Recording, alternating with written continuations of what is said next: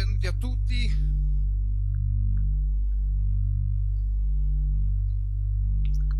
Benvenuti a tutti qui questa sera per questo incontro con eh, Paolo Azzori.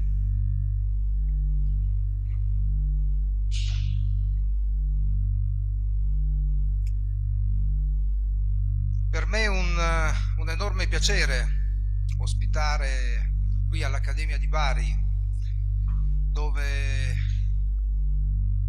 mantengo in un equilibrio instabile un corso di computer art.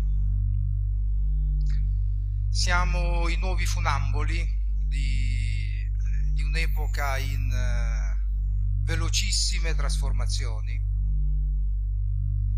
ed ormai 11 anni incontro una serie di studenti che si stanno ponendo domande sul rapporto tra il presente qui, da Bari, e il futuro in uno spazio che ancora non è ben eh, compreso come quello della rete. E su questo quotidianamente proviamo a gettare ponti tra la frontiera della creatività, della fantasia, dell'espressione e quello che è il rapporto con i media che attraversano il nostro corpo costantemente.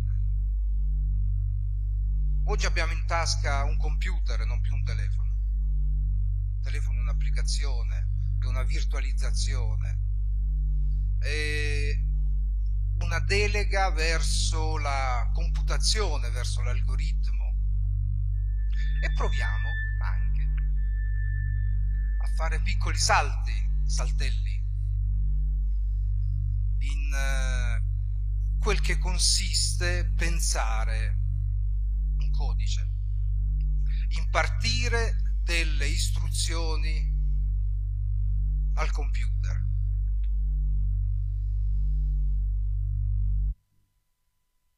Il, il viaggio che, che presento, che sarò velocissimo, è giusto per entrare in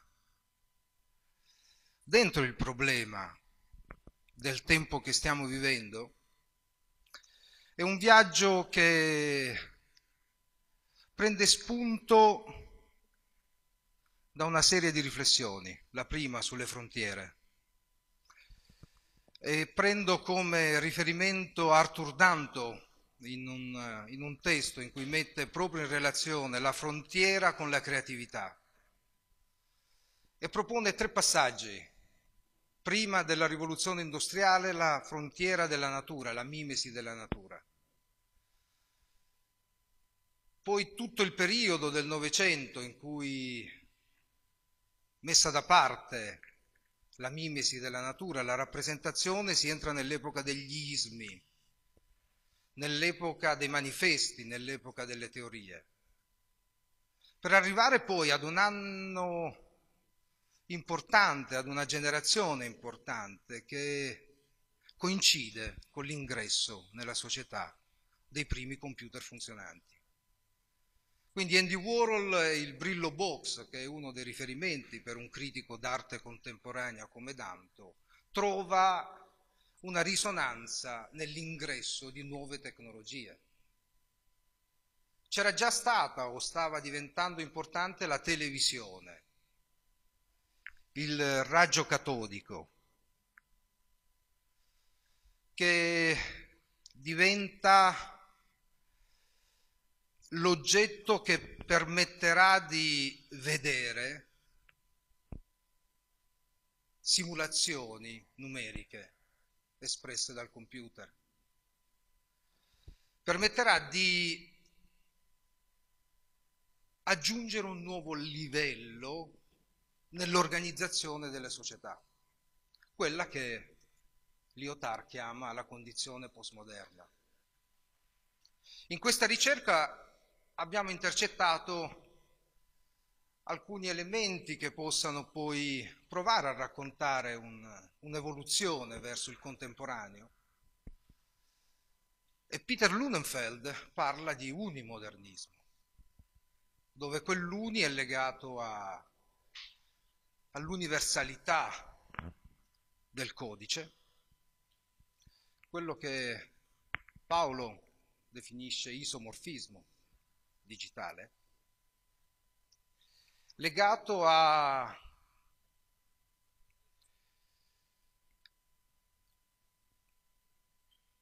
all'unitarietà degli effetti possibili attraverso le tecnologie. C'è un cambiamento di interfacce che avviene nell'arco di pochi secondi e che si dipana sulla rete e coinvolge milioni di persone. Quindi l'epoca è... richiede, richiede un pensare, un pensare il nostro rapporto con le tecnologie, con uno sguardo verso il futuro, perché da, così come ci definiva Carmelo Bene, il sud del sud dei santi, il passato riverbera ancora con una sua eh, forza, forza anche economica, eh? Perché naturalmente sul passato stiamo costruendo economie, stiamo costruendo strategie di eh, attrazione turistica, quindi sicuramente ha un valore la terra che noi abitiamo da qui. Solo che il da qui, dopo internet, inizia ad essere messo in crisi.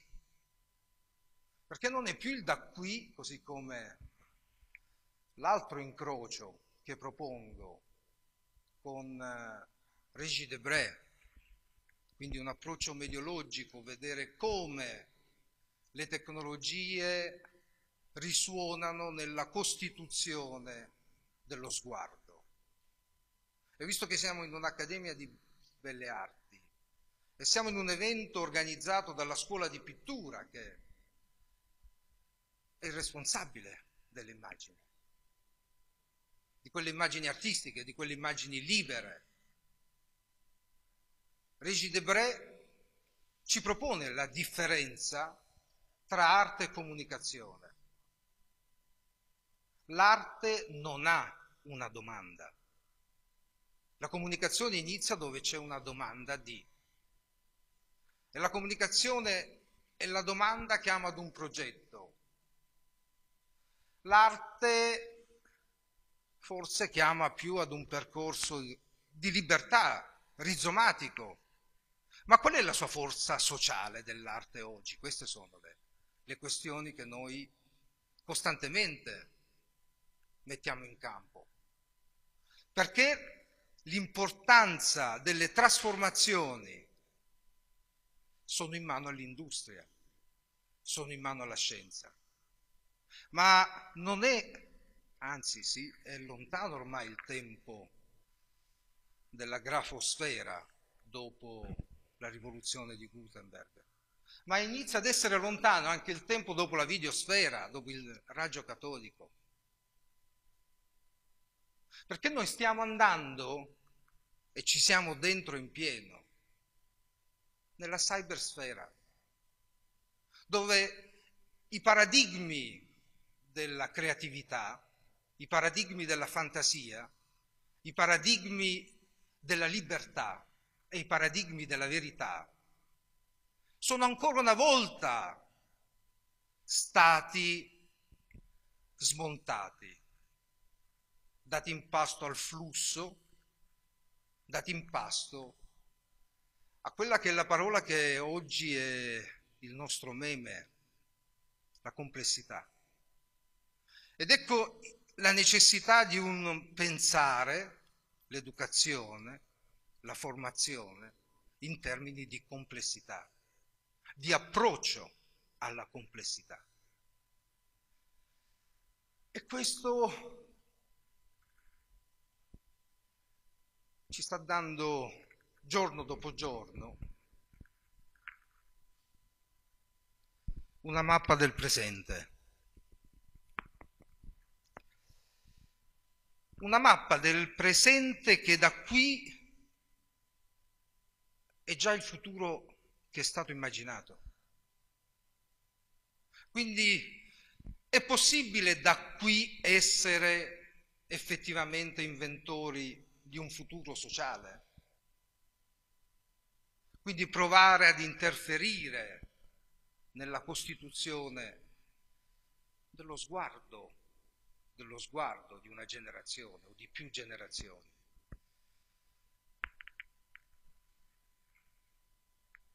E così prendendo in prestito la riflessione di Debré mi sono rimbalzate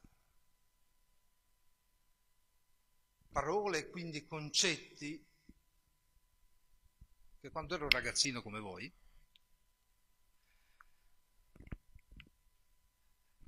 sentivo, provavo a conoscere, studente di informatica a Torino, sento parlare di una call internazionale, ma come? Io faccio difficoltà a parlare l'italiano. Come dire, riesco a, a tradurre un giornale in dialetto leccese con molta facilità. Internazionale, dalla Germania. In quel periodo lavoravo con un collega di un'accademia di belle arti, Davide Bramante, ed ero tra i pochi eh, studenti italiani che stava mettendo come strumento il computer quale oggetto d'espressione della libertà, eh, dell'anima.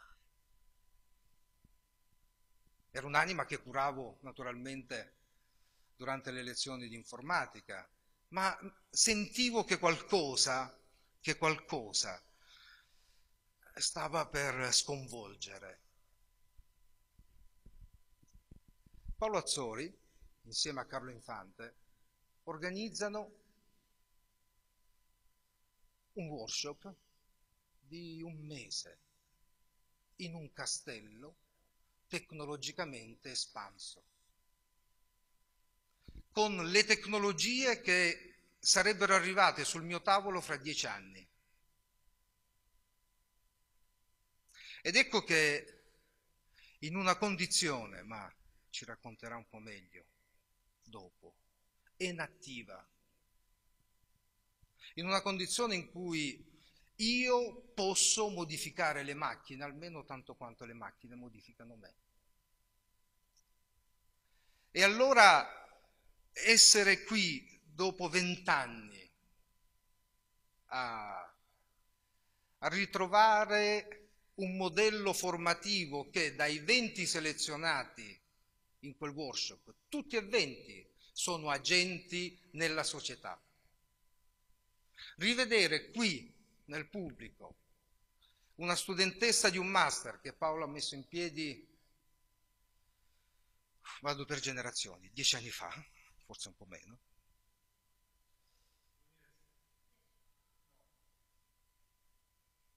2007, quindi sì, dieci anni fa, è corretto quindi. Il salto di generazioni è corretto. Quindi dopo dieci anni rimette in piedi un master con sul tavolo le tecnologie che ci sono adesso.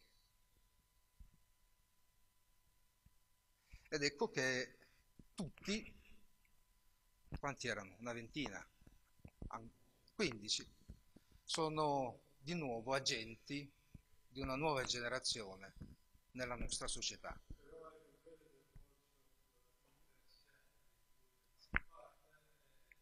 Stiamo registrando, mo ti passo il microfono. Perché ritorno a quel workshop nel castello, chiamato Interscena, e lì... Eh,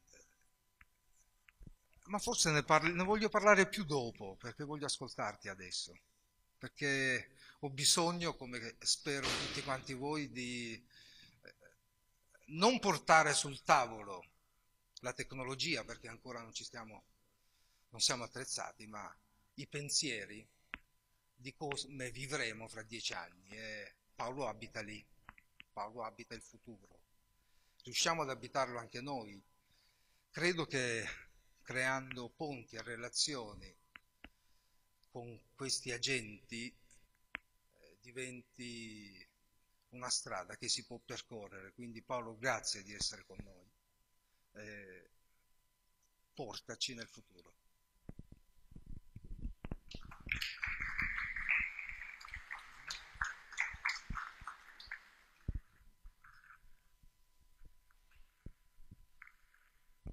Uh, grazie a voi di essere qui, ad Antonio di avermi invitato uh,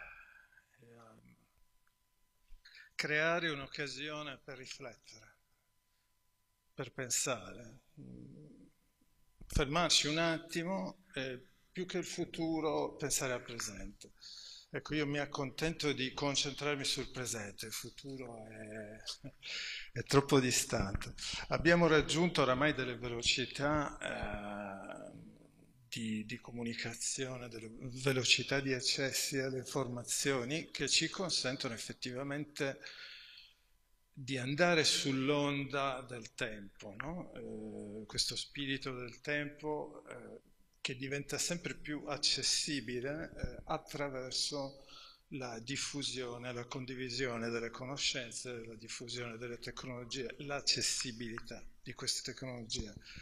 Ora, quello che è importante è riflettere prima di tutto su quello che è il nostro tempo, su quella che è la nostra realtà, in che tipo di realtà stiamo vivendo, eh, perché sono importanti le tecnologie, da dove viene eh, questa spinta eh, fortissima di cambiamento che stiamo vivendo quasi senza accorgere, cioè, eh, perché ormai per tutti è normale avere un telefonino in tasca, avere un bancomat, avere eh, scavalcato diciamo, tutti quelli che potevano essere dei rapporti eh, molto più lenti, eh, più interpersonali che caratterizzavano la società di, di 30, 40, 50 anni fa.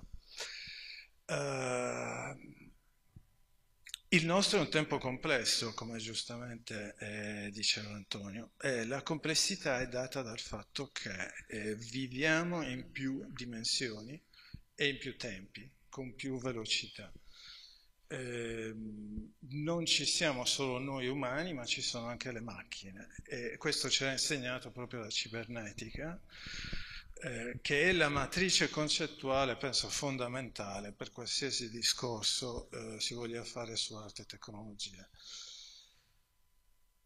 Il eh, problema che ci riguarda più direttamente è quello dell'insegnamento e dell'apprendimento.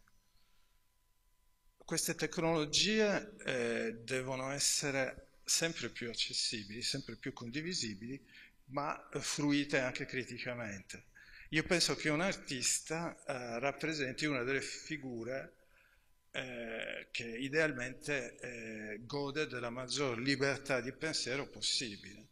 L'artista ha la libertà eh, di criticare eh, tutto e chiunque, di rifiutare e eh, di cambiare eventualmente qualsiasi cosa ritenga debba essere cambiata. Ora, eh, io mh, vedo che c'è una fortissima passività nell'uso delle tecnologie, siamo trascinati da un sistema che eh, ha deciso di spostare l'economia eh, verso una eh, nuova rivoluzione che si chiama Industria 4.0, ormai ne parla anche Renzi di Industria 4.0 lo scorso settembre che eh, va notato, eh, si tratta di una fotocopia del programma tedesco che è stato elaborato appunto in Industry 4.0 eh, nel 2013 e poi è arrivato anche da noi e ehm, anche il nostro governo ha elaborato un minimo di strategie per proiettarci verso questa che è la nuova rivoluzione industriale che stiamo vivendo. Una rivoluzione in cui il petrolio verrà sostituito dai dati. Eh, sembra una cosa assurda, però è così. Big data, Internet of Things, robotica, intelligenza artificiale, cioè una convergenza totale di quelle che erano appunto le componenti cibernetiche dentro un nuovo potentissimo modello economico di cui poi con qualche slide eh, penso di chiarirvi, eh, di chiarirvi meglio.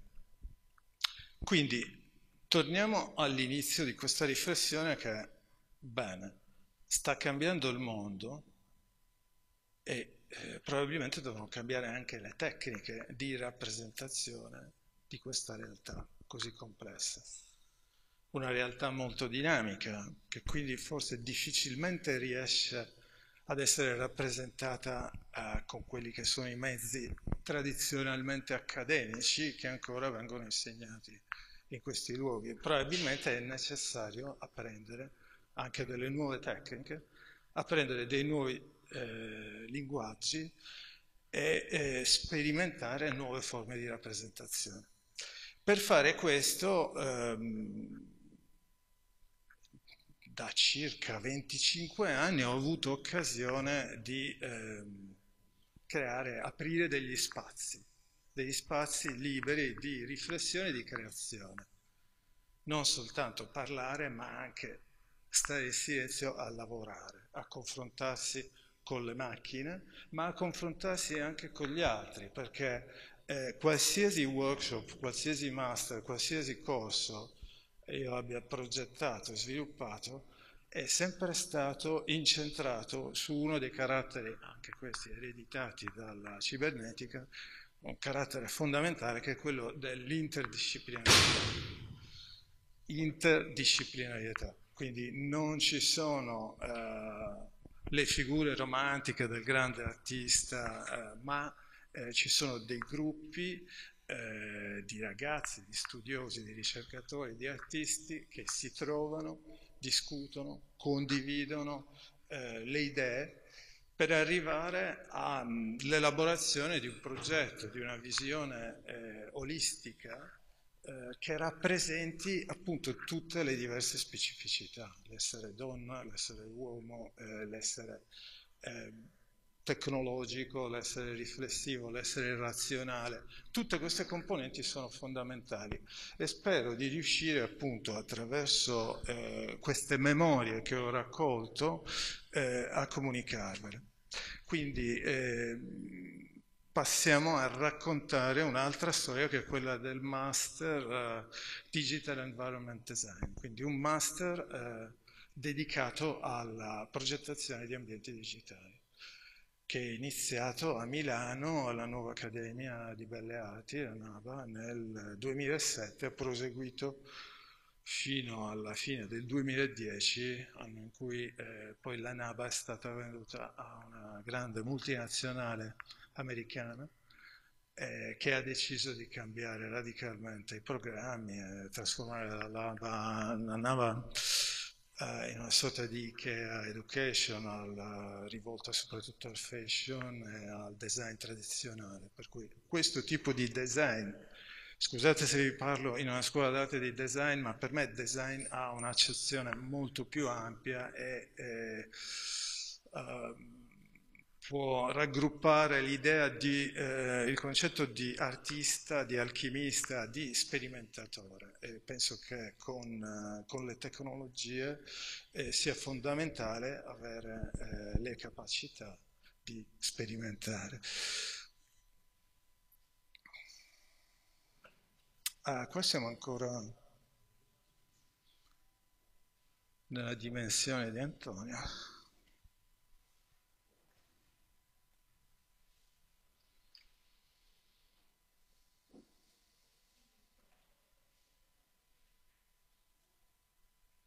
Quindi dicevamo che le informazioni sono la materia principale di una nuova struttura economica di una nuova morfologia sociale a cui corrisponde un nuovo paradigma di radicale modifica dei processi di produzione, esperienza, potere e cultura. Se pensiamo all'aumentare esponenziale delle possibilità di connessione e di condivisione dei contenuti e informazioni, all'uso di massa di piattaforme di social networking, all'enorme quantità di informazioni che caratterizza lo sviluppo della società contemporanea, ci confrontiamo con un problema della comunicazione e della rappresentazione che riguarda quasi ogni campo della nostra realtà. Un artista designer deve acquisire nuove tecniche per progettare ambienti, interfacce con cui rappresentare, visualizzare dinamicamente flussi di dati, contenuti digitali che attraverso processi di interazione forniscono agli utenti e al pubblico non solo adeguate modalità di comunicazione, ma la possibilità di eh, personalizzare la propria esperienza.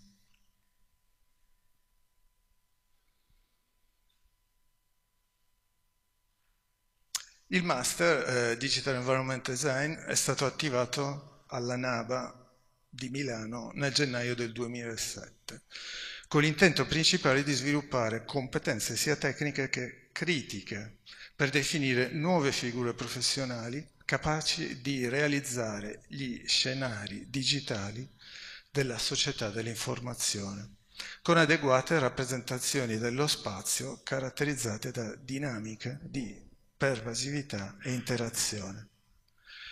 Il processo creativo si incentra sull'utilizzo di tecniche digitali come modellazione e animazione 3D, interface design, database management per la progettazione di ambienti digitali complessi. Dalle esposizioni tecnologiche al teatro contemporaneo, dall'urban design ai musei virtuali. In un'ottica di ecologia della comunicazione, vale a dire utilizzare le tecnologie digitali con coscienza critica e consapevolezza etica verso appunto un uso sostenibile dei media, il master ha perseguito una strategia di polarizzazione delle energie creative all'interno del tessuto sociale, invertendo la tendenza contemporanea alla privatizzazione non solo degli spazi pubblici, ma anche di molti aspetti della vita sociale. È inutile che vi ricordi che insomma, il tanto amato Facebook è, è, un aspetto abbastanza inquietante, il fatto che ci sia un proprietario eh, che è in grado di analizzare e gestire tutti questi flussi di dati a suo piacimento. A tal fine, come fondamentale integrazione dello stage formativo, il master eh, prevedeva la progettazione e realizzazione di alcuni progetti, dei quali appunto ve ne presenterò eh, diversi, in collaborazione con una rete di partner istituzionali che operano nel campo della produzione culturale e della comunicazione. Ovviamente istituzioni con forti motivazioni etiche che svolgono un'analisi indipendente dei problemi sociopolitici e filosofici che caratterizzano la nostra contemporaneità, con particolare attenzione ai problemi di accesso, del digital divide, della democratizzazione della comunicazione, eccetera. Eh, quattro aree principali eh, di ricerca e di attività, digital stage design, eh, installazioni di arti mediali, architettura della comunicazione, exhibition design e interface interaction design.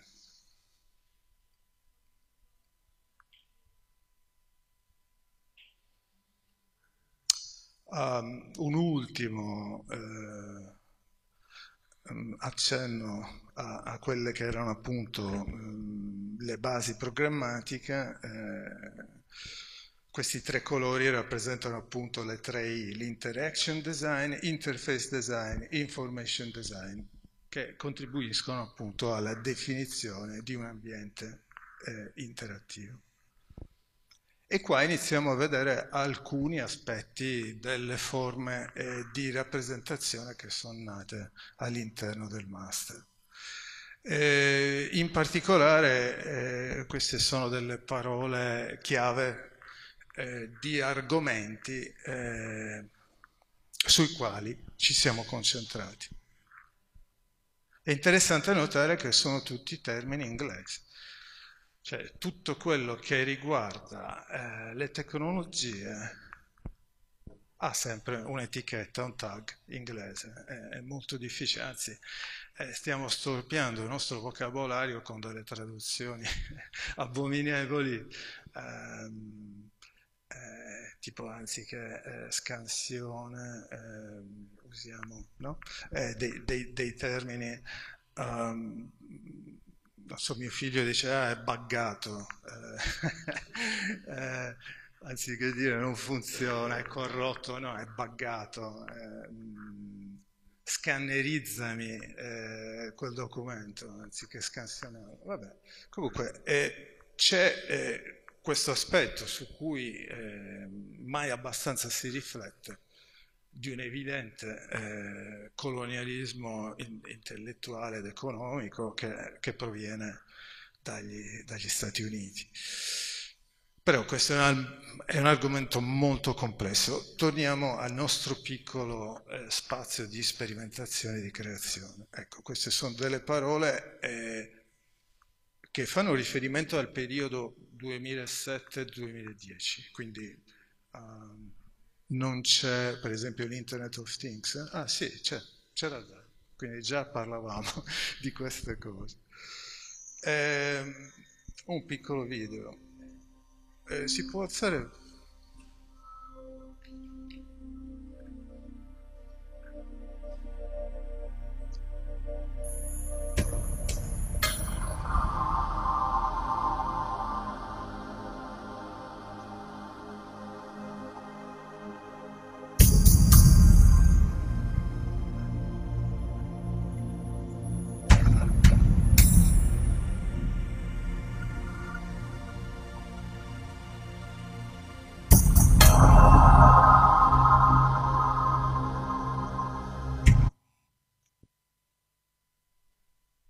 queste sono appunto delle forme dinamiche di rappresentazione del mondo eh, tecnologico, del mondo dei dati. In questo caso eh, è un codice tradotto in C++ con un'estetica molto minimale, bianco e nero, di eh, quelle che sono le principali forme, eh, formule eh, della fisica contemporanea quindi una eh, forma di rappresentazione dinamica grafica, un'interpretazione di formule matematiche che poi eh, visualmente sono state tradotte in, in questo formato.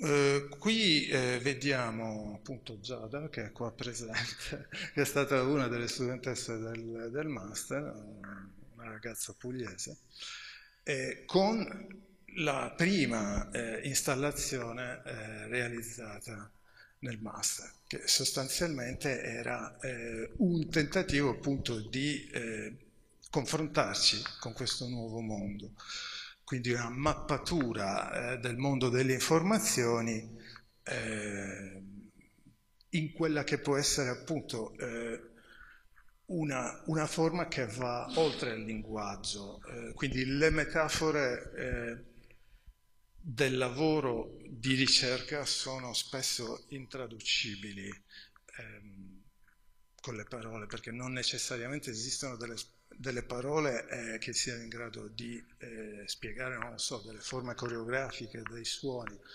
e così anche delle dinamiche di, di immagini.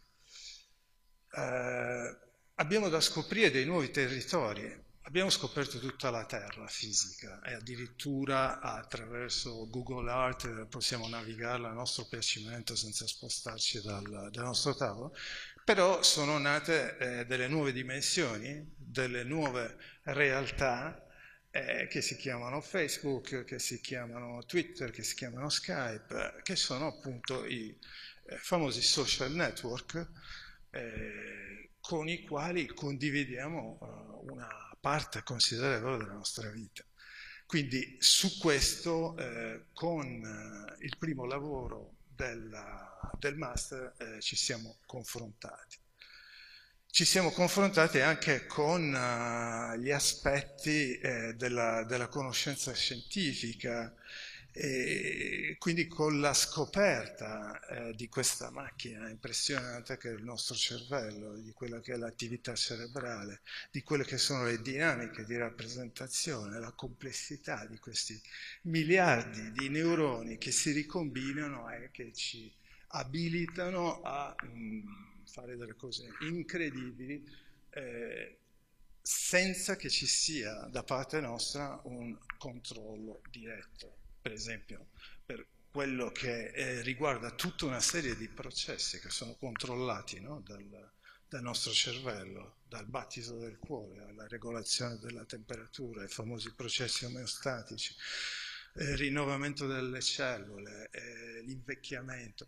Tutti questi processi sono controllati da questa macchina incredibile che da quando nasciamo non fa che elaborare, elaborare, elaborare informazioni.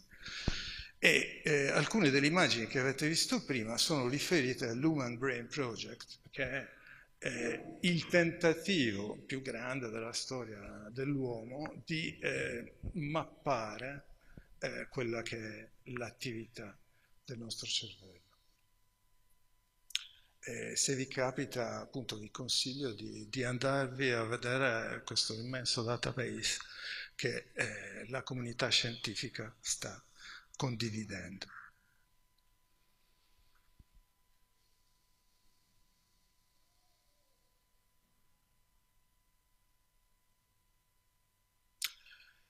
Queste macchine rappresentano la simulazione del cervello di un gatto. Ecco, eh, quindi eh, 144 terabytes di RAM eh, che hanno consentito eh, di realizzare appunto 10 miliardi di miliardi di sinapsi. Eh, scusa? Com'è?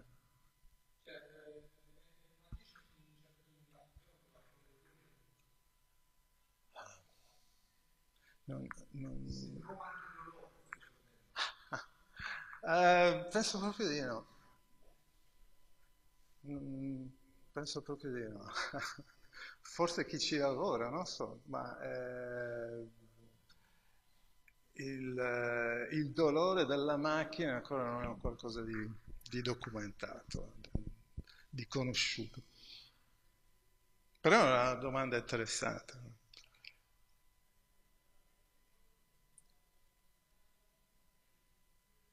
È interessante, uh, beh scusate, vi dico dopo, perché è partito un altro video molto molto importante di Ryoshi Ikeda, eh, che è un altro artista che riesce a rappresentare molto bene eh, le dinamiche, gli aspetti di cui eh, stavamo parlando prima.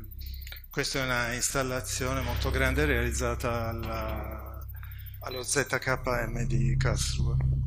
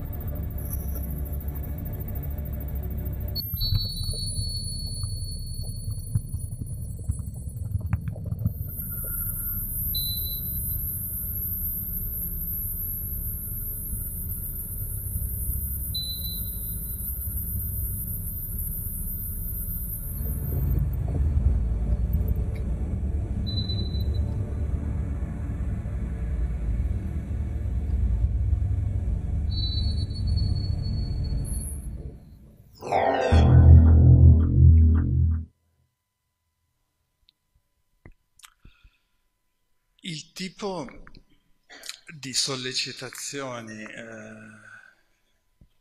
neurosensoriali a cui veniamo sottoposti ehm, visitando questo tipo di, di, allestimento ovviamente è irriproducibile con un mezzo come, come questo, è un po' come farvi vedere la fotocopia di un bel quadro importante dei secoli scorsi, eh, quindi un po' una piccola suggestione.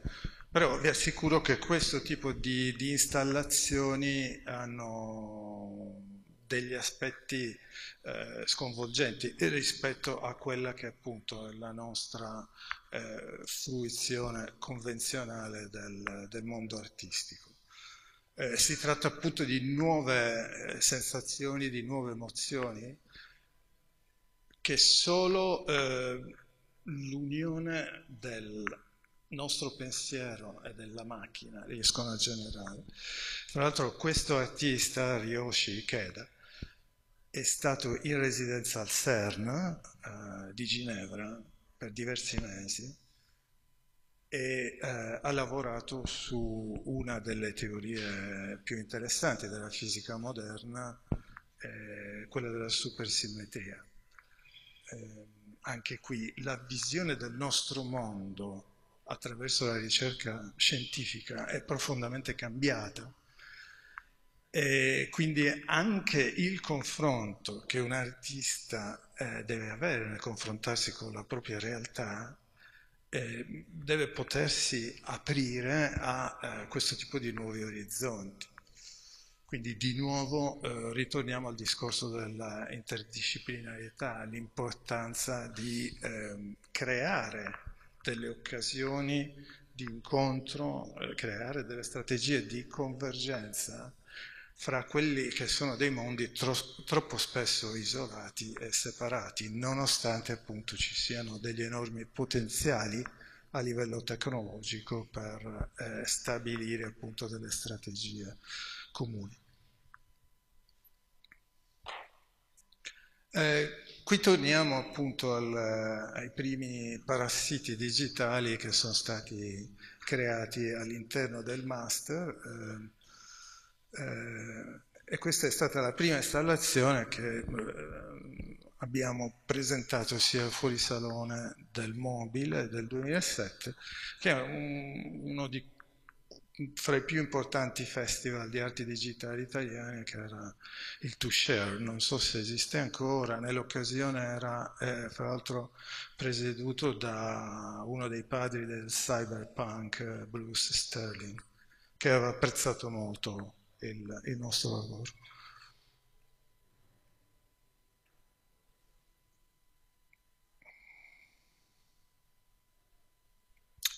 E qui passiamo all'installazione eh, del 2008, quindi l'anno successivo. Come dicevo prima, ogni anno i ragazzi, oltre che apprendere molto rapidamente una serie di tecniche, confrontarsi con tutta una serie di tecnologie, eh, ogni anno i ragazzi eh, elaboravano un proprio progetto.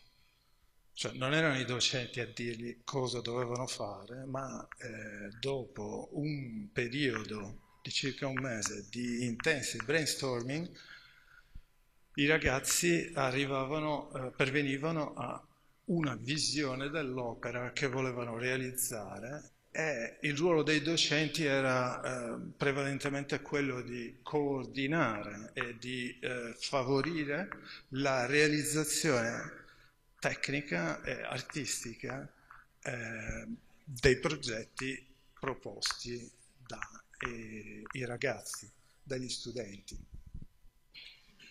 In questo caso Hyperwish, Hyperwish iperdesiderio, eh, l'idea era quella, mm, è nata da, dalla visione di stelle cadenti, di esprimere dei desideri guardando il cielo stellato. No? E aprire eh, il mondo della comunicazione al ricevimento del desiderio. Quindi chiunque può esprimere un desiderio, inviarlo in questo universo digitale eh, e contribuire alla creazione di costellazioni di iperdesiderio. un motore di analisi semantica eh, contribuiva appunto alla creazione di queste costellazioni in maniera dinamica attraverso la raccolta e eh, l'organizzazione dei vari desideri. Quindi veniva fatta un'analisi eh, continuamente di tutti i nuovi desideri per pervenire alla creazione di iperdesideri, quindi desideri di desideri, cioè analizzando tutte le espressioni eh, si sono trovate delle frasi, eh, non so, contro la guerra, sull'amore, eh, che avevano un particolare significato per tutti, cioè che erano le parole più rappresentate. E eh, la fruizione di eh, quest'opera avveniva in uno spazio libero che ospitava eh, i vari schermi di proiezione e eh, una sfera dell'Ikea luminosa questa sfera era un po' il tracker, il, il navigatore, il, lo strumento per navigare nello spazio delle informazioni. Aveva incorporati anche dei pulsanti eh, che consentivano di selezionare diverse organizzazioni eh, della rappresentazione dei desideri. Eh, però appunto la eh, sfera luminosa consentiva di entrare in profondità in questi spazi eh, tridimensionali che venivano generati in tempo reale. E, fra l'altro quel, quell'installazione è stata poi presentata eh, alla Triennale della Bovisa, è stata mh, alla Biennale dei Giovani Artisti, è stata selezionata appunto per rappresentare il Comune di Milano. Quindi diciamo anche dal punto di vista accademico, artistico, questo tipo di lavori hanno avuto una, una risonanza importante e hanno immediatamente proiettato eh, i ragazzi a confrontarsi con il mondo della, della produzione culturale e, e quindi imparare sul campo ad allestire delle installazioni abbastanza complesse. E qui passiamo a delle sperimentazioni nel 2008 eh, con tecnologie multitouch. In questo caso eh, si trattava eh, di un lavoro abbastanza commerciale, lì vedete per esempio Giorgio Armani, eh, perché anche questo serve diciamo, per finanziare, per contribuire allo, allo sviluppo di eh, progetti di ricerca.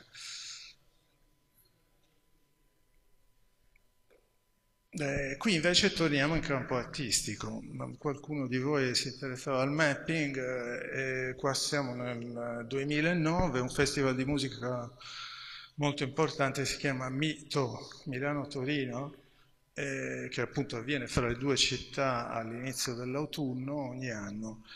E in questo caso lavoravamo con delle prime, con otto diversi artisti, eh, musicisti, e lavoravamo all'elaborazione di immagini generative, quindi immagini di sintesi eh, che venivano generate a partire dall'analisi dello spettro sonoro. Eh, quindi avevamo elaborato delle interfacce abbastanza eh, sofisticate eh, che ci consentivano di estrapolare delle informazioni oggettive sulla qualità del suono e influenzare delle tonalità di colore, delle dinamiche, delle scale, tutta una serie di parametri eh, che caratterizzano appunto l'immagine video. Ovviamente un'immagine non mimetica, un'immagine eh, artistica di eh, flussi di colore come potete vedere. Eh, e le immagini erano accuratamente mappate eh, su questa sorta di vela che era sospesa sull'ensemble che dal vivo eh, suonava nell'hangar della Bicocca, uno spazio molto importante di Milano. eh, parlavamo di interface design. Perché eh, pongo l'accento fra il binomio artista-designer? Perché eh, indubbiamente se ci confrontiamo con le tecnologie bisogna saper progettare, bisogna saper far parlare le macchine fra di loro, bisogna sapere il linguaggio delle macchine. Questo non necessariamente lo deve fare una persona, ci sarà magari quello che sa parlare meglio con le macchine, quello che conosce meglio la grafica, quello che conosce meglio l'analisi del suono.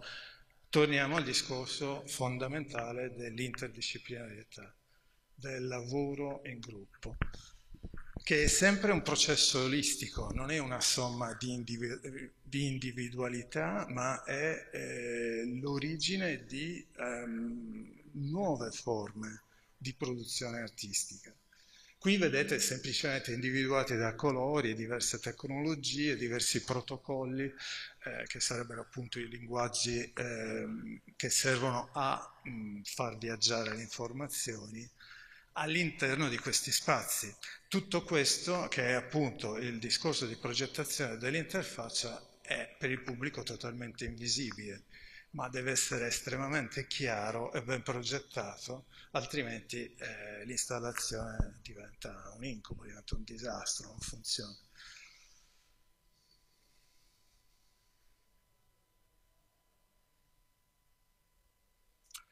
E qui vediamo altri lavori um, del 2009 eh, per i quali al contrario degli anni precedenti, era stato assegnato un tema, cioè i ragazzi si dovevano confrontare sul tema che era quello dell'ecosostenibilità digitale. E quindi eh, tornare di nuovo all'interpretazione di dati sull'ambiente eh, che vengono tradotti in, in forme eh, grafiche, per le quali eh, ogni gruppo di studenti sviluppava delle proprie interfacce. In questo caso potete notare eh, l'estremo minimalismo dell'interfaccia che appunto controllava la generazione di suoni e immagini del, dell'installazione di cui avete visto la figura in precedenza. In questo caso si tratta di eh, relitti eh, della tecnologia informatica, sono degli hard disk rotti che come eh, gli strumenti di un VJ consentivano eh, di selezionare molto velocemente dei, dei, flussi di informazione e rappresentarli sia a livello acustico che visivo, eh, operando appunto su eh, questi dischi. Quindi proprio c'era un un touch, veramente touch, cioè c'era, c'era proprio un contatto con, la, eh, con l'interfaccia e, eh, ce n'erano due di questi hard disk, quindi si lavorava proprio con la stessa sensibilità dei, dei DJ. Quei grandi pulsanti, eh, appunto tecnologie industriali da pochi euro, eh, erano eh, dei eh, selezionatori di diversi database e eh, il tutto riguardava la carbon footprint eh, e l'analisi dei dati relativi alle emissioni appunto di carbonio da parte, di ossido di carbonio da parte di tutte le nazioni e il fatto che rispettassero o meno eh, quelli che erano i dettami a quei tempi di, del eh, G20 di Kyoto. Mm, un'installazione realizzata con un centinaio di euro di hardware, di pezzi appunto. Eh, questo è un altro lavoro sull'elettrosmog. Eh, anche qui dei pick-up vecchi di chitarre elettriche eh, consentivano di eh, amplificare le eh, radiazioni emesse da qualsiasi eh, strumento cellulare, iPad che avete in tasca, avvicinandoli a quei pick-up si producevano eh, dei suoni eh, e si influenzava la generazione di quelle spirali per cui le frequenze d'onda, adesso qui vedete 4, eh, potevano essere 8, ma 16, eh, in base appunto al noise, al, al disturbo che veniva prodotto e anche il cambiamento del colore eh, che veniva proiettato da dei moduli RGB controllati da un Arduino era in funzione di ehm, rosso ovviamente pericolo, azzurro mm, ok, sono meno nocivo eccetera. E riguarda diciamo quello che è il peso del, delle frequenze elettromagnetiche. Eh, perché quelle spirali sono prodotte semplicemente da un filamento. È un filamento che va in vibrazione, che ruota e produce appunto queste forme eh, geometriche.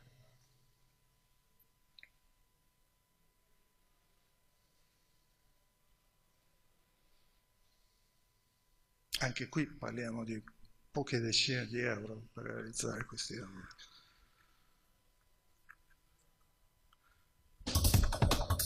Questo è un lavoro sul tempo, Black Sheen.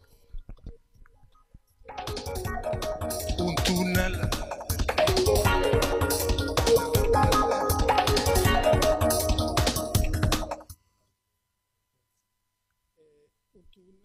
quindi si attraversa un, un,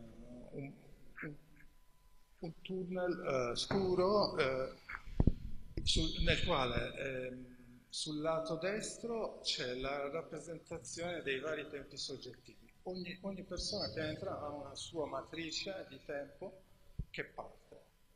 Eh, l'istante in cui sei nato, ok, la tua cellula parte e viene contato questo tempo. Dall'altra parte, in tempo reale, invece c'è l'elaborazione della propria ombra che viene trattata in una maniera invece più, più artistica. Quindi da una parte c'è l'estrema freddezza del numero dell'analisi numerica e dall'altra parte c'è un'informazione più, più calda e forse meno però appunto avevamo creato questa collisione per cui contemporaneamente eh, ci si trovava dentro, dentro un tunnel schizofrenico era quasi impossibile riuscire a percepire entrambe le, eh, le dinamiche allora probabilmente qualcuno iniziava a porsi delle domande.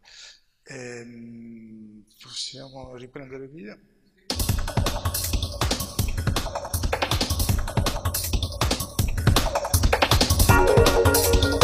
subito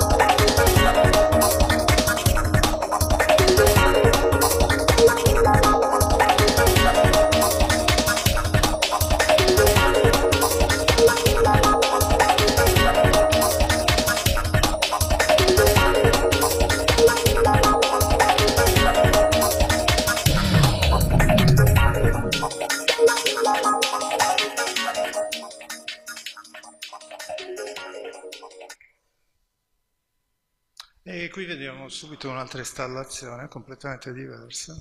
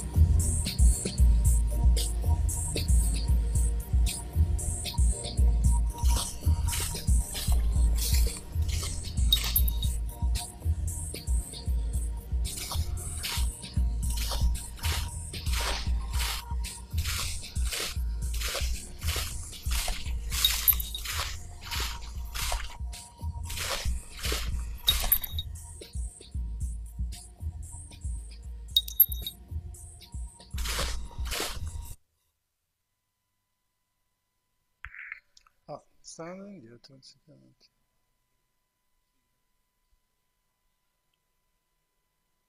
Ok, rapidamente questo è un altro eh, progetto, creare delle boe da immergere eh, e far navigare nei navigli di Milano, a partire dalle sorgenti di questi navigli. Eh, quindi queste boe eh, intelligenti sono in grado di eh, ricevere gran numero di dati, dati ambientali, dati di suono, di colore, di immagine, e lo raccolgono. Ora potete immaginare quanto sia interessante vedere la variazione del suono ambientale a partire da delle campagne sperdute a 50-60 km eh, di distanza dalla, d'Arsena eh, in cui appunto tutte le boe poi approdano, quindi al centro eh, di, di, Milano. E le boe incorporano una serie di eh, sensori eh, che quindi eh, sono in grado di registrare dati ambientali, come dicevamo, ma anche eh, dati occasionali di utenti che le incontrano e possono inviare dei messaggi alla BOA, delle immagini, dei testi. Tutto questo viene raccolto e eh, mostrato in un grande display pubblico attraverso eh, delle, delle forme di infografica. Allora, queste BOE ovviamente non esistono, vanno inventate, vanno progettate, quindi con dei sistemi di rapid prototyping eh, inglobia, inglobiamo eh, tutte le tecnologie necessarie a farle funzionare. Qui vedete uno schema dei, dei vari percorsi. Uh, una boa madre eh, più grande funge da server, quindi da eh, elaboratore e archiviatore dei dati che arrivano dalle, dalle altre boe e poi eh, si arriva appunto alla eh, visualizzazione di questo che noi chiamiamo tecnicamente un datascape, un paesaggio di dati che però riguardano il nostro ambiente.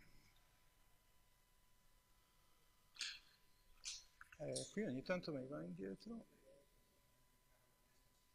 E I ragazzi nel master imparavano subito a comunicare anche i propri progetti, quindi c'era sempre un certo rigore, una certa cura alle forme grafiche, alle sintesi, anche perché ehm, alle sintesi di queste complessità, anche perché eh, appunto andare eh, a trovare dei fondi per produrre questo tipo di progetti non è semplice. Allora, strategicamente voi, giovani artisti, dovete trovare anche, diciamo, eh, delle strategie, mh, tra virgolette, un po' cosmetiche per vestire il vostro progetto e renderlo eh, avvincente per chi poi eh, deve finanziarlo, perché effettivamente ehm, non esistono ancora, soprattutto da noi in Italia, eh, dei canali per eh, delle gallerie per questo tipo di lavori, non esistono. No? Eh, occasionalmente in qualche festival si riesce a farsi ospitare, eh, anche lì si tratta appunto di strategie più che altro di comunicazione, di trovare degli spazi.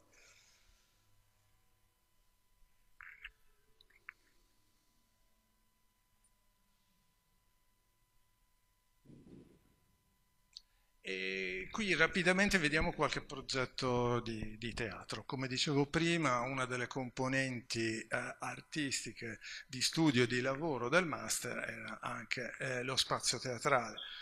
Ovviamente uno spazio teatrale è diverso da quello a cui siamo abituati, eh, uno spazio in cui eh, quello che è stato il logocentrismo della parola già criticato da, da Antonina Artaud non aveva assolutamente nessuno spazio, la parola era un media, un medium eh, come tanti altri, era uno dei tanti linguaggi, non era il linguaggio sul quale poi tutta la produzione artistica si doveva adeguare.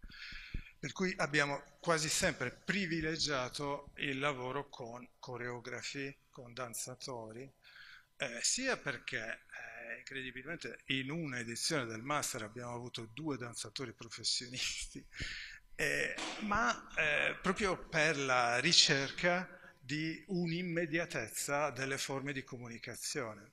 Eh, come dicevo prima, il linguaggio richiede del tempo, il linguaggio deve essere mediato da un processo di interpretazione. Quello che sto dicendo deve corrispondere a dei concetti che voi già avete per essere compreso, altrimenti non ha, non ha alcun senso. Viceversa, eh, l'azione di un performer, di un coreografo, di un danzatore è immediata e probabilmente anche universale, viene compresa da tutti, da un cinese, da un russo, da un italiano. E, e inoltre mh, per questo tipo di rappresentazioni era eh, fondamentale l'arte del muoversi nello spazio, perché appunto si tratta di spazi sensibili, eh, di spazi pervasivi, di spazi che eh, si modificano con eh, l'analisi eh, degli impulsi che vengono dati dal, dal, danzatore.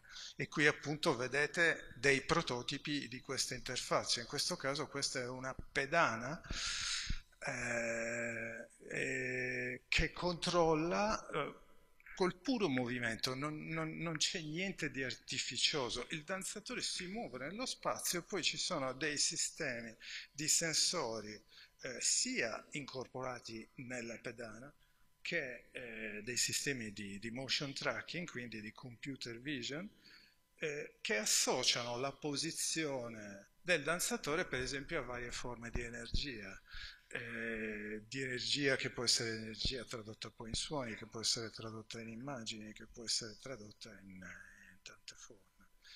E quando parliamo di immagini non intendo semplicemente richiamare una foto, ma eh, penso sempre a eh, delle immagini eh, generative eh, che quindi vengono generate nel momento stesso della, della performance.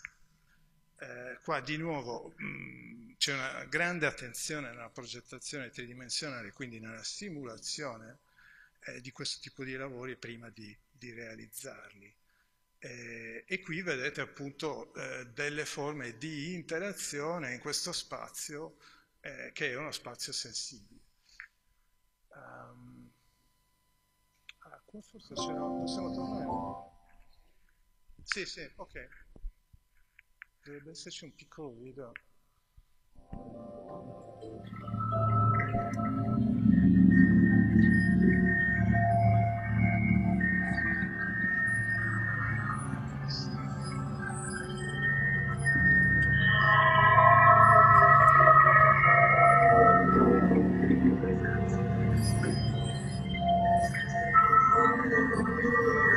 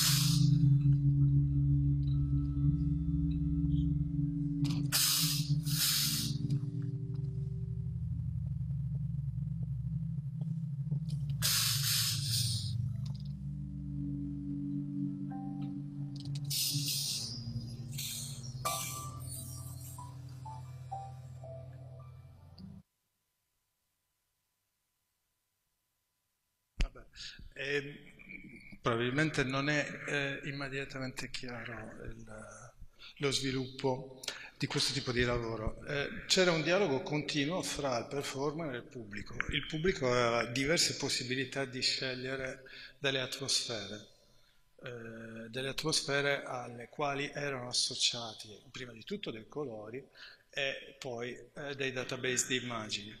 Queste immagini venivano immediatamente mm, proiettate su una matrice eh, che ospitava il pubblico, che consentiva un'ulteriore eh, selezione. Quindi all'interno di quell'atmosfera c'è un qualcosa che mi attira di più, io vado lì. Eh, e queste informazioni venivano immediatamente trasmesse al coreografo, eh, che quindi interpretava artisticamente eh, quelle che erano le scelte del pubblico. In particolare, tecnicamente, le informazioni arrivavano al coreografo in quel piccolo tag eh, con i quattro colori che, che lo seguiva. Eh, si tratta appunto di, di, di forme eh, sperimentali, di forme di ricerca mi rendo conto che eh, di nuovo viverle, esserci dentro, eh, dà un certo tipo di emozione che mh, questi video di, di, pessima qualità, tra l'altro, non, non riescono a darci, però è giusto per farvi capire. Stiamo parlando di progetti realizzati in pochi mesi, eh? e, prima appunto le installazioni, poi il teatro e contemporaneamente eh, l'apprendimento delle varie tecniche, quindi i ragazzi in un anno eh, penso imparavano veramente tante tante cose e si confrontavano con delle dirette possibilità eh, di, di, produzione del proprio lavoro. Qui di nuovo vediamo degli scenari eh, dinamici prodotti per, per un eh, coreografa di Zurigo, anche qui sono immagini generative, eh, molto interessante questo flusso di colori e la mappatura ehm, in tempo reale eh, di, di, una serie anche qui di dati ambientali.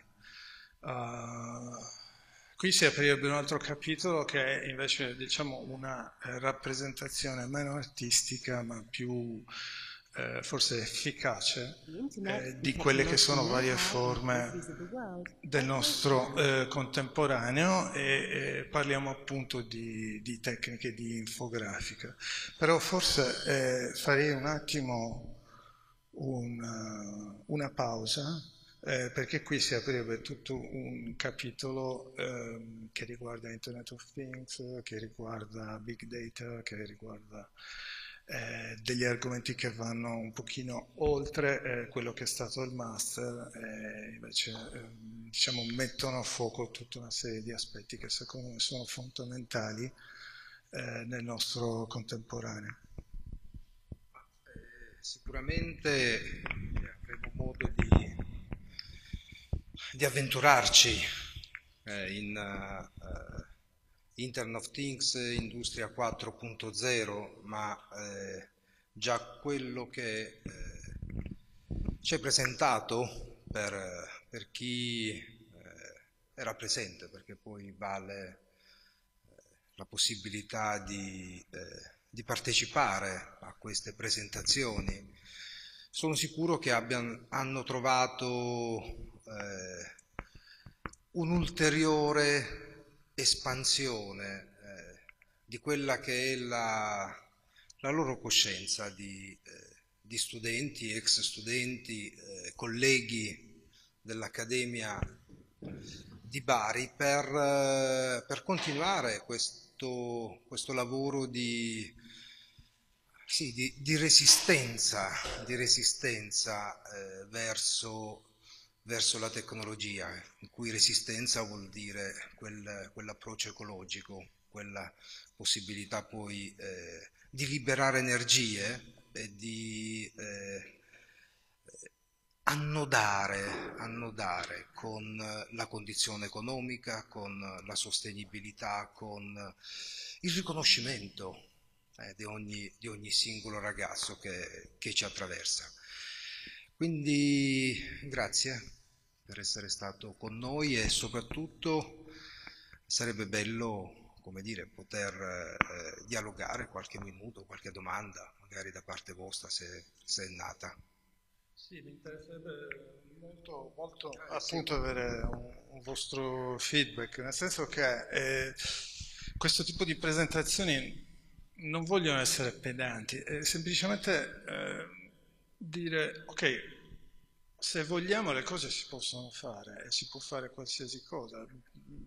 Ci dobbiamo un attimo concentrare, chiederci, riflettere e dire va bene, mm, io riesco uh, a trovarmi a mio agio con quelle che sono le tecniche, le tecnologie disponibili attualmente in quelli che sono i luoghi dell'apprendimento della, della comunicazione artistica e allora possiamo tranquillamente ignorare eh, questo tipo di proposte oppure dire ma sì effettivamente a me eh, mancano eh, delle conoscenze, mancano delle tecniche, vorrei eh, apprendere dei nuovi linguaggi e vorrei confrontarmi con, uh, con delle nuove forme di rappresentazione.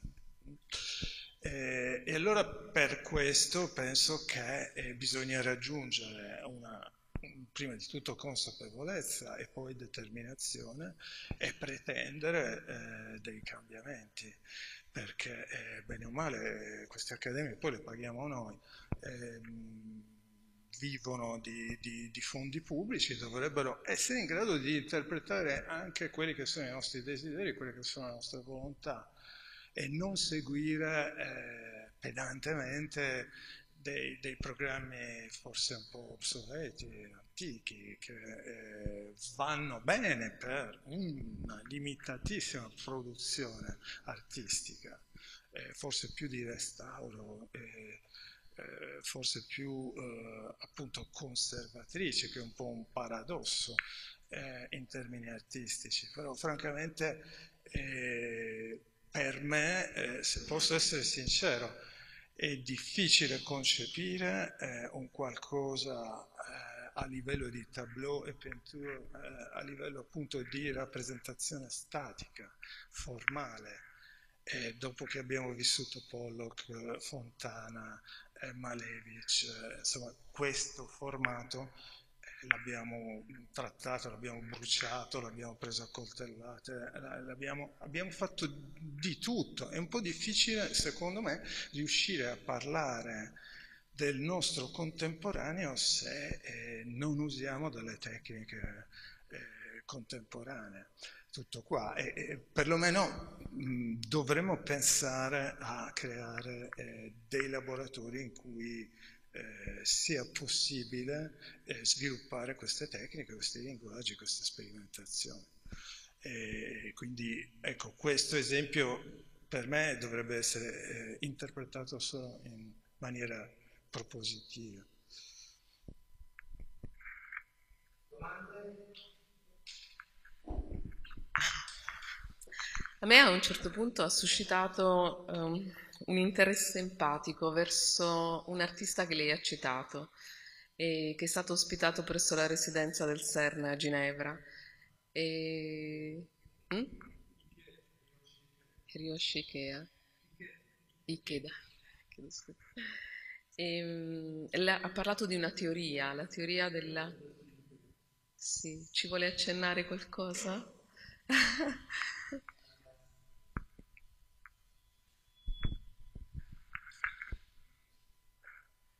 E, ehm, come sapete nella fisica eh, contemporanea, a partire da Einstein, eh, si sono aperti dei nuovi scenari, dei nuovi mondi, eh, a partire appunto dalla relatività, eh, arrivare alle teorie delle stringhe, arrivare ai concetti di antimateria, eh, la materia oscura, il dark matter. Ehm, una delle teorie più interessanti degli anni 70 è eh, stata presentata da un fisico eh, pakistano che si chiamava Abdus Salam e che è stato poi il direttore eh, di un grandissimo centro di ricerca internazionale che si chiama l'ICTP, che sarebbe l'istituto forse più importante per la ricerca di fisica teorica, che ha sede a Trieste, eh, che è stato fondato nella metà degli anni 70. Eh, la supersimmetria è una teoria che eh, cerca di interpretare eh, l'espansione continua del, dell'universo eh, trovando diciamo, delle direttrici, delle relazioni eh, fra eh, degli aspetti che altrimenti avrebbero un, un carattere totalmente caotico. Cioè, caos significa quasi sempre un, un, livello di ignoranza da parte nostra, quindi non riuscire ancora a cogliere certi aspetti, però eh, appunto quando ci confrontiamo con l'immensità eh, dell'universo abbiamo bisogno di, di, fissare un qualche tipo di, di parametri. Eh, in particolare la eh, simmetria ha mh, a che vedere con quella che è la materia oscura, l'antimateria eh, che era già stata studiata eh, dal nostro grande Fermi. Eh, perché così come nell'elettromagnetismo abbiamo un positivo e un negativo, anche nell'immensità dello spazio esistono queste enormi tensioni eh, invisibili di energia che prendono per esempio l'aspetto dei buchi neri. Eh, è un campo abbastanza eh, complesso da eh, descrivere eh, e trovo che eh, l'interpretazione artistica eh, riesca viceversa a essere fondata appunto su delle analisi oggettive, quindi dei dati, su delle forme eh, reali, a eh, creare eh, delle, delle, suggestioni così come a suo tempo il cubismo eh, può averci illuminato su eh, varie forme di relatività o anche il futurismo mh, ha sicuramente eh, consentito di rappresentare eh, diverse forme del, del, moderno, del contemporaneo. E un altro gruppo mm, molto interessante che eh, Antonio ha conosciuto è quello dei Nobotic Research, eh, un gruppo internazionale di base a Colonia negli anni 90 eh, è stato forse il primo gruppo ad associare alla produzione artistica eh, nella maniera più esplicita l'elaborazione digitale, quindi la macchina. Nella fattispecie eh, loro hanno elaborato un concetto che era quello di rappresentare la natura, ma la natura dei dati, avendo come eh, localizzazione il mondo dell'Antartide, la ricerca nell'Antartide. La ricerca dell'Antartide è importantissima per tutta una serie di aspetti, perché sono gli ambienti meno entropizzati, ambienti estremi, ambienti in cui è praticamente impossibile vivere per gli umani, ma abbiamo una serie di sensori, abbiamo una serie di macchine che ci mandano questi flussi di dati e questi flussi di dati ci parlano delle storie, delle epoche della Terra, del carbonio, eh, ci parlano di, di, di tanti aspetti molto importanti per comprendere il nostro mondo.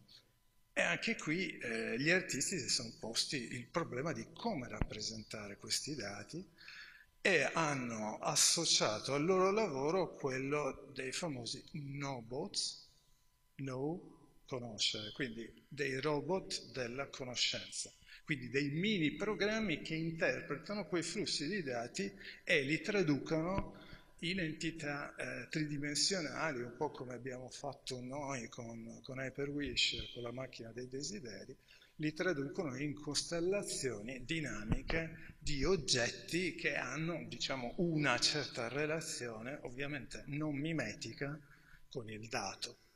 Cioè l'artista ha per secoli eh, basato la propria estetica sulla mimesis aristotelica, finché a un certo punto qualcuno ha iniziato a dire questa non è una pipa, questa non è arte, questa è un'altra storia, noi non possiamo uh, imitare la natura. E abbiamo vissuto bellissimi periodi dell'Ottocento con tutti i francesi, eh, che ovviamente venivano rifiutati dal mondo accademico, eh, per arrivare fino a Duchamp e, e, a presentare una ruota di bicicletta, un ordinatorio e quindi a stabilire che in fondo il concetto è uno degli aspetti fondamentali dell'arte.